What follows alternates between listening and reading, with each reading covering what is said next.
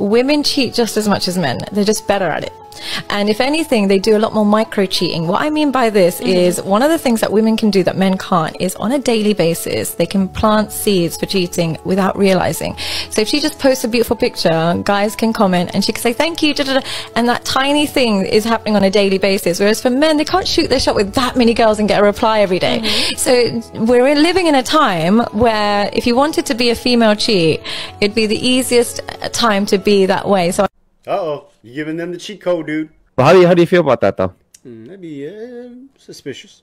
Definitely suspicious. I think. I think definitely. Yeah. Especially in today's age, man, dude. You can just slide into you know whoever's DM you want.